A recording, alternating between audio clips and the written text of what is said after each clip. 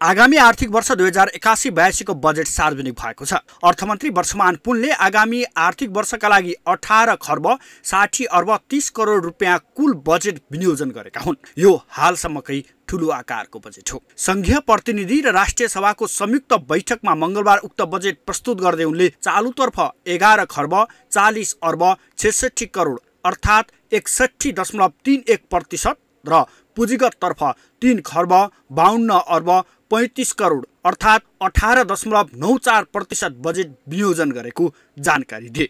त्यसै गरी उनले वित्तीय व्यवस्थापनतर्फ तिन खर्ब सडसठी अर्ब अठार करोड अर्थात् उन्नाइस दशमलव सात चार प्रतिशत बजेट छुट्याएको बताए। यो खर्च अनुमान चालु आर्थिक वर्षको विनियोजनको तुलनामा छ दशमलव दुई प्रतिशतले बढी र संशोधित अनुमानको तुलनामा एक्काइस दशमलव पाँच छ प्रतिशतले बढी रहेको अर्थमन्त्री पुनले बताए। कुल विनियोजनमा प्रदेश र स्थानीय तहमा वित्तीय हस्तान्तरणतर्फ चार खर्ब आठ अर्ब सत्ताइस करोड विनियोजन रहेको उनको भनाइ छ। कुल विनियोजनमा प्रदेश र स्थानीय तहमा वित्तीय हस्तान्तरणतर्फ रु चार खर्ब आठ अर्ब सत्ताइस करोड विनियोजन रहेको छ। साथै अर्थमन्त्री पुनले आगामी आर्थिक वर्षका लागि अनुमानित खर्च बेहोर्ने स्रोत मध्ये राजस्वबाट बाह्र खर्ब साठी अर्ब तिस करोड र वैदेशिक अनुदानबाट बाहन्न अर्ब तेत्तिस करोड बेहोर्दा पाँच खर्ब सत्तालिस अर्ब सडसठी करोड न्यून हुने बताए। त्यसको परिपूर्ति वैदेशिक ऋणबाट दुई खर्ब सत्र अर्ब सडसठी करोड जुटाइने पनि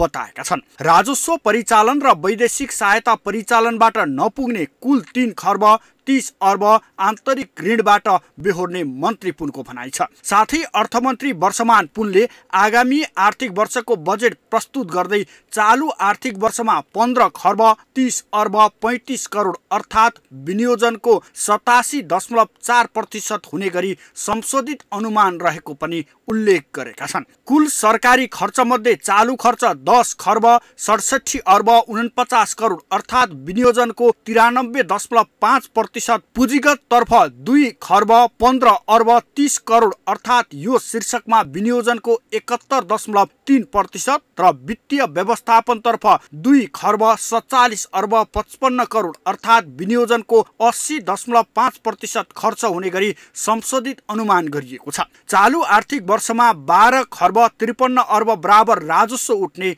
संशोधित अनुमान छ।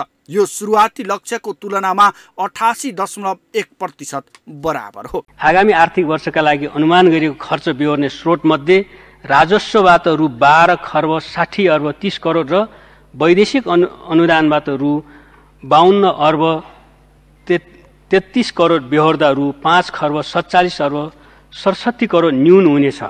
सो न्यून पूर्ति गर्न वैदेशिक ऋणबाट दुई खर्ब सत्र अर्ब सडसठी करोड जुटाइनेछ।